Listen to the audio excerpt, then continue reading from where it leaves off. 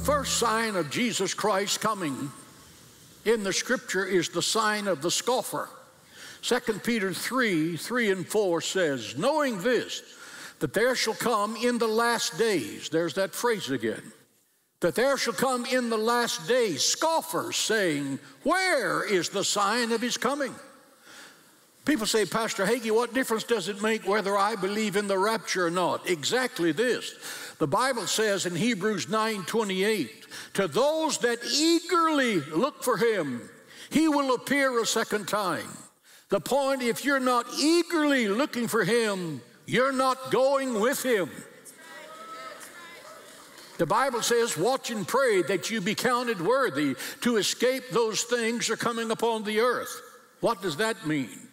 That means the coming Antichrist is going to kill every person on earth who refuses to take his mark. This means the living hell of the Great Tribulation that will last for seven years with 21 global tragedies that will kill more than one third of the earth's population. So, hello, scoffer. The fact that you do not believe that Jesus Christ is coming back is living proof he's on the way.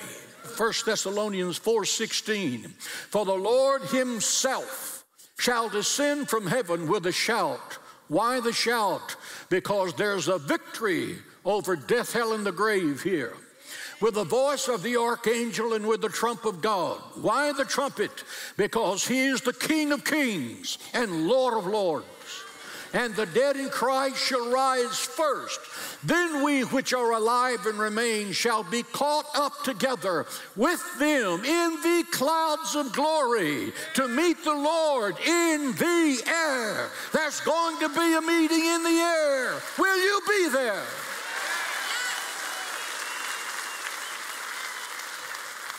The second sign of Christ's return to earth is the shocking and amazing rebirth of the state of Israel. Isaiah prophesied 740 years before the birth of Jesus Christ, and he wrote these words Shall a nation be born in a day? Isaiah 66 8. Shall a nation be born in a day? Yes, that day was May 14th, 1948 at the rebirth of the state of Israel. The greatest miracle in the history of the world, second only to the resurrection of Jesus Christ. This newspaper changed the history of the world and represented the greatest miracle in our generation. This was given to me by a Jewish organization. Israel was reborn after 2,000 years. Let me tell you what a shock it was. On that afternoon, a car carrying David Ben Gurion rushed down Rothschild's Boulevard in Tel Aviv and stopped at the Art Museum. He walked up the steps into a room where there were a handful of people. At precisely four o'clock, he stepped into the podium and read the historic words that gave birth to the state of Israel. Eleven minutes later, President Harry Truman recognized the birth of the state of Israel. This shocked the world. The rebirth of Israel was the death of replacement theology. Most of you don't know what replacement theology is, but I want some of the pastors to listen to this because you're still preaching it. Replacement theology is that God has replaced the Jewish people with the church. And as long as there was no organized Jewish people, people accepted that. But now Israel is reborn. And if Israel is reborn, then God is not through with Israel. And the writings of St. Paul in Romans 9, 10, and 11 are very much in play. The church did not replace Israel, God breathed breath into that valley of dry bones as Ezekiel's vision saw them rise from the dead and live to become a vibrant nation. Israel lives! Israel lives! Give the Lord praise in the house. The state of Israel. Why is Jerusalem and Israel constantly in the media? It has become one of the most wealthy nations in the world. Israel has a military force second to none. They are presently helping America get our military equipment technologically up to speed. Israel leads the world in technology and inventions. Why? Because God made a promise to Abraham in Genesis 12 and in you shall all the families of the earth be blessed. All of the families in the earth included the United States of America. If you really want to think about history, America was discovered when Christopher Columbus was sent searching for a homeland for the Jewish people who had been kicked out of Spain by King Ferdinand and Queen Isabella at the behest of the Roman Church. Think about that. This place was discovered to give the Jewish people a homeland. That's a fact of history. Israel is the only nation in the world created by God Almighty with an unconditional covenant to the land of Israel. Since God created the earth, He owns the earth. And as owner, he has rights. And he executed those rights by creating the nation of Israel, and their borders are placed in the scripture. It is their land forever. They don't have that land now, but I assure you they will get every inch of it when Messiah comes.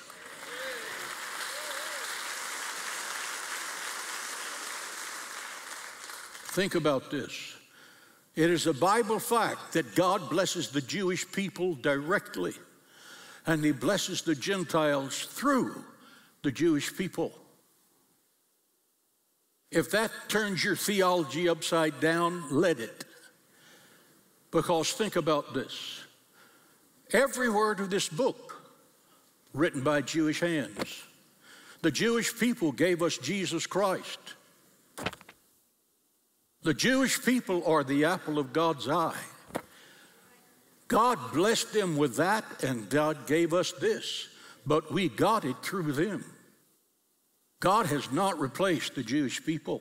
The third sign of the Lord's coming is the king of the north, which is very clearly Russia. All directions in the Bible are given from Jerusalem.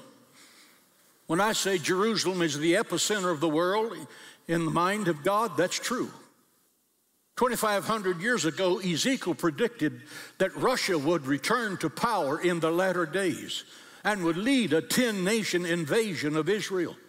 Ezekiel 38, 15 through 16 records, And you, the king of the north, shall come out of the north parts, and you and many with you, and all of them a great company and a mighty army. And you shall come up against my people of Israel as a cloud to cover the land, and it shall be in the latter days. End of quote. Latter days, that's right now. The prophet Daniel identifies the ruler who would lead the attack against Israel in the latter days as the king of the north in Daniel chapter 11, verses 15 through 35. Ezekiel prophesied that the invading armies will come to Israel, quote, from the far north. Ezekiel 38, 6 and 15. The only nation that is in the far north from Israel is Russia. According to Ezekiel, Russia will lead these nations Iran. Now, in the Bible, it's called Persia, but it was Persia until about 100 years ago. It's now Iran, Turkey, Sudan, Germany, and several Islamic nations are going to invade Israel after the rapture of the church. Why will Russia lead this invasion? This is not my opinion. This is from people I know who are familiar with the situation. There are two reasons. Ezekiel 38 4, God says, I'm going to put a hook in your jaw, king of the north, and I'm going to drag you to the hills of Israel. What's the attraction? Attraction one is to gain a warm water port for, for Russia's navy, which is frozen in place for months on end in Russia.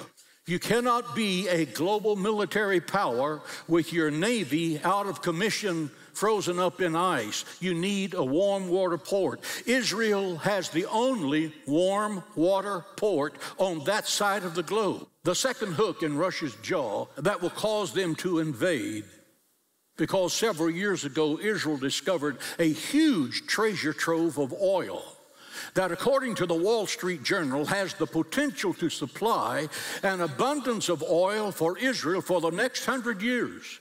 That's lots of oil. With Israel's oil, listen, Russia can control Europe and have an absolute source to fulfill their military ambitions to become a global superpower. The point, Ezekiel's prophecy in, his, in chapters 38, 39, given over 2,500 years ago, is happening right now on the front pages of your newspaper and the telecast. This Russian Iran invasion of Israel will be resolved by a treaty with the Antichrist that will be broken in three and a half years. But here's the point before the Antichrist even gets here, the church of Jesus Christ is gone.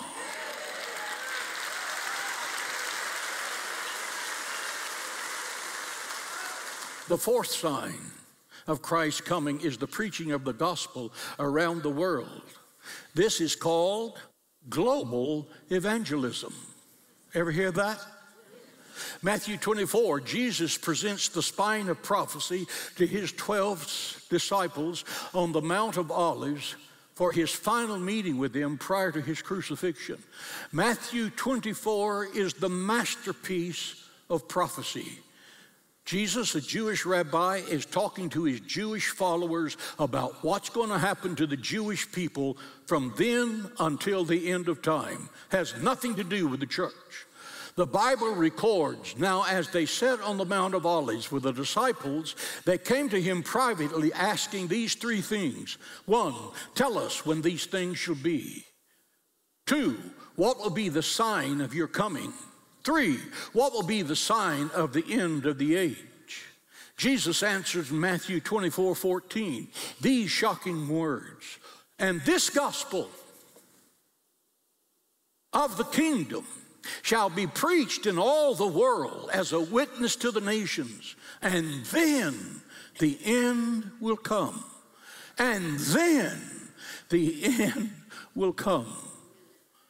That's called global evangelism. The battle is drawing to an end. The last tear has been shed. The last burden may have been carried. Perhaps the last soul will be saved today. Goodbye, world. Goodbye. Hallelujah to the Lamb of God. Give the Lord a shout of praise. Thank you for joining us today. We pray you are encouraged by God's Word. Stay with us to the end of today's program. I have a special blessing just for you. But first, we have put this special resource together just for your family. Do you need a divine touch from the Lord? When you speak the Word of God aloud, you release His promises over your life. The blessings of the Lord fill every part of your existence. The God who created heaven and earth is the God who can heal you today, heart, soul, mind, and body. With your special gift of any amount this month, we will send you a copy of our book, The Power to Heal, plus a vial of anointing oil. Use this gift to pray God's word over you and your family and anoint those you love with this oil. For your generous gift of $200 or more, we'll also include a unique communion set made of olive wood, handcrafted by the Sheltered Workshop in southern Israel. As an extra bonus, you will also receive our Healing Scriptures USB. When you read these selected scriptures, you will release the healing power of the Word of God in your life. Receive these gifts today. Call the number on screen or go to jhm.org/healing.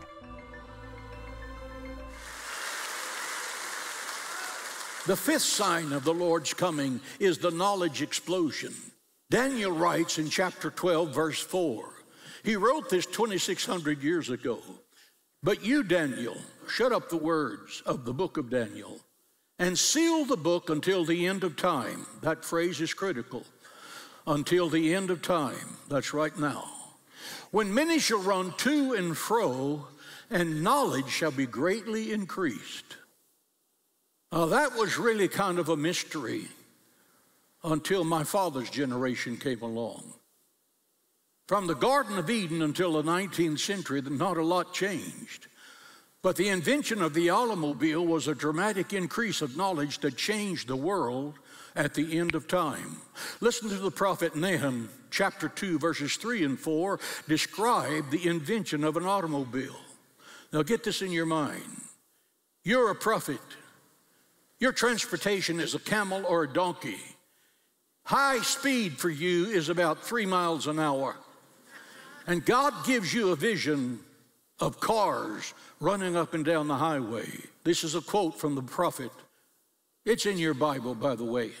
The chariots, that would be cars, shall be with flaming torches, that would be headlights, in the day of the Lord's coming. When? In the day of the Lord's coming. The chariot shall rage in the street. They will jostle against one another in the broad way, wrecks, and they shall seem like torches as they run like lightning. A car moving at 70 miles an hour with headlights is like lightning. It's not an over exaggeration of verbiage, it's telling what you see. The most important phrase in the phrase is this this is going to happen in the days of his coming, meaning in the day when the Lord is preparing his church for the rapture. The invention of the airplane is in the Bible. The Wright brothers made their first flight in December 3rd, 1903. Today we have jet aircraft that can fly 600 miles an hour, go halfway around the world with hundreds of people. That men would fly someday is foreseen in Isaiah's writings in chapter 31, verse 5. Isaiah writes, Listen, as birds flying, you never seen a plane before. It's in the air, it's flying. As birds flying, so shall the Lord of hosts defend Jerusalem. Defending also, he will deliver it. Listen, and passing over it, he will preserve it. That was an absolute mystery until my father's generation.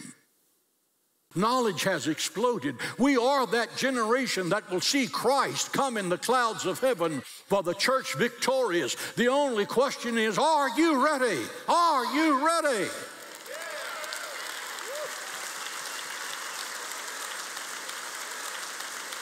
The sixth sign of his coming is nuclear warfare. From the birth of nuclear warfare, there was a body of prophetic scripture that was an absolute mystery. They are tragically clear as we race toward the battle of Armageddon.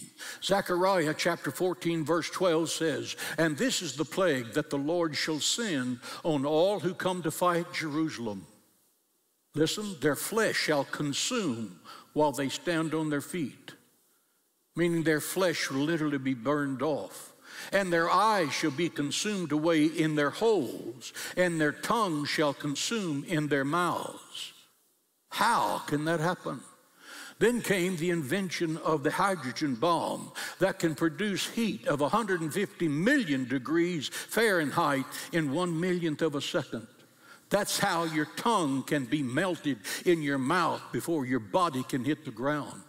For years, only America and Russia had these nuclear weapons, and we felt secure because we had something called mutually assured destruction. But not so today. Never has a weapon of war failed to be used in warfare that was ever invented. The Bible describes this happening, but the church is not going to be here. The seventh sign of the Lord's coming is what the Bible calls the King of the East, and that would be China. 40 years ago, when I said that China would become a superpower in the future, people laughed. They're not laughing now. China is a military superpower, and they intend to take America down. Why are they sending the spy craft over America for seven days, seeking sensitive intelligence data and sending it back to China in real time? China now knows where every nuclear silo in America is located. They have sensitive information concerning every military base in America. The Wall Street Journal carried a story of a two star general in the U.S. military who was commissioned to compare America's military ability versus China's military ability. After a two year study, the decision was clear. If America engaged China in a military conflict, America would lose. Our military leadership came to that conclusion. China not only has military information, they have purchased or control approximately 400,000 acres of America's farmland. That means they can control food production. They're not trying to do this, they've already done it. China has enormous influence over America's colleges and universities. They spend $12 billion per year for Chinese scholarships. They're giving invitations for children in America's schools, elementary school, junior school, high school, to go to China. The Bible presents the king of the east who will come marching with a 200 million person army in the future to the battle of Armageddon, which is in Israel. This is going to be the mother of all wars. Let's say that before we leave this building, the trump of God sounds and the rapture happens we're gone. In the twinkling of an eye, we're just simply not here. We stand before God the Father and we give an account of our lives. And based on the account of our lives determines what we wear as a crown and what our robe looks like. The Bible says the robe represents the righteous acts of the saints. At the end of seven years, the second coming will happen. Jesus Christ and all of the body of Christ will leave the balconies of heaven and come to Jerusalem mounted on white horses. There will be the Battle of Armageddon, a battlefield that Napoleon said is the greatest battlefield in the history of the world. Jesus Christ is going to sweep over that battlefield and to annihilate that army of 200 million people. The blood will flow to the bridle of a horse. Then Jesus will go to Petra and release the Jewish people who have been liberated from the Antichrist. He will set up his kingdom in Jerusalem. The Antichrist takes a deep breath and he receives terrifying news that a marching army is marching down the Euphrates. By an act of God, the mighty Euphrates River has dried up, and that marching army of 200 million is walking across the dry riverbed to fight the Antichrist for global control. Just about that time, the Antichrist and his army is about to attack Israel and Jerusalem the massive 200 million men army invades. As these two military armies come together, there's another invasion, not from the north, the south, the east, or the west, but from heaven. Jesus Christ, the King of Kings, the Lord of Lords, leads his army, the church triumphant, to annihilate those who've desired to attack Israel. It's going to happen just like that.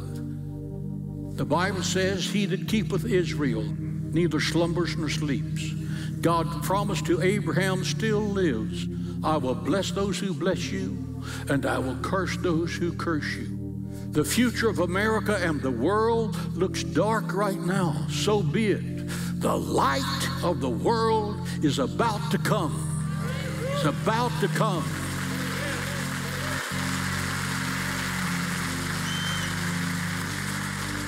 Don't be disturbed by the signs you're seeing on the telecast. The television is generally the source of bad news. This is the good news. The good news says the king is coming. He's coming in the twinkling of an eye. There's simply two groups of people in this audience right now and those watching by television. Those who have received Jesus Christ and those who have not. If you have not received the Lord Jesus Christ, if you are a scoffer, if you are someone mocking the fact that Jesus is coming, you will be here when this lunatic, anti Semitic, God hating Antichrist rules the earth. You will either be a servant of Jesus Christ or slaves to sin and Satan. I have chosen to be a servant of Jesus Christ. How about you? Can we stand? Can we stand? Listen to what I'm saying. If Jesus Christ returns for his church today, are you ready? If you know you are not ready, if you know there's unconfessed sin in your life, I want to have a prayer with you right where you stand to help you find Jesus Christ. Don't touch that dial in your house. You are a heartbeat from heaven, a heartbeat from the graveyard. I'm not asking you for church membership or a dime of your money. I'm telling you the reality that's about to happen that will change the world forever. You're not prepared to meet the Lord. I want you to slip your hand up. I want to have prayer with you. Just slip it up. Confess, Father, I need you. God bless you, and God bless you. Those of you watching by television, I want you to pray this prayer with me. Heavenly Father, Heavenly Father, in the name of the Lord Jesus Christ, in the name of the Lord Jesus Christ, I ask you to forgive me of all of my sin. I ask you to forgive me of all of my sins. Cleanse me Cleanse me that I may be clean before the Lord. before the Lord. I want you to write my name I want you to write my name in the Lamb's Book of Life, in the Lamb's Book of Life, and I will serve you and I will serve you all the days of my life. all the days of my life. In Jesus' name, In Jesus' name. amen. Amen. Give the Lord a shout of praise in the house of God. Hagee Ministries continues to proclaim the unadulterated truth of God's Word around the globe. Thanks to our legacy partners, it's the continued faithfulness of our partners that enables us to provide hope, health, and education to the young mothers and their children that call the Sanctuary of Hope home. As we walk this road together, we are providing humanitarian aid across Israel and helping with relief efforts and community service initiatives at home and abroad. Together, we are transforming the nations of the world for Jesus Christ. We are excited to reach the younger generations as we expand into areas such as Apple TV, Roku, podcasts, social media, and live web streaming. Your action today can become part of your legacy. Become a legacy partner. Call the number on the screen or go to jhm.org/partner. Hagee Ministries is taking a new pilgrimage to the land of the Bible on November the 6th through the 16th, 2023, celebrating Israel's 75 years of statehood, and we invite you to join us. We will visit ancient Bible sites to include the Pilgrim Road, the Pool of Siloam, experience baptism in the Jordan River, have a time of private prayer at the Western Wall, call the number on the screen, or go to jhm.org/events. If you've been blessed by this message, stay tuned. There's more to come. Are you sick in your body? Is your mind besieged by worry, depression, anxiety? Do you need a healing touch from the Lord? Start working your way through the Bible, speaking His promises out loud with authority. When you speak the Word of God out loud, you are releasing the blessing of the Lord to invade every area of your life. Stay in the Word and don't get stuck in self pity.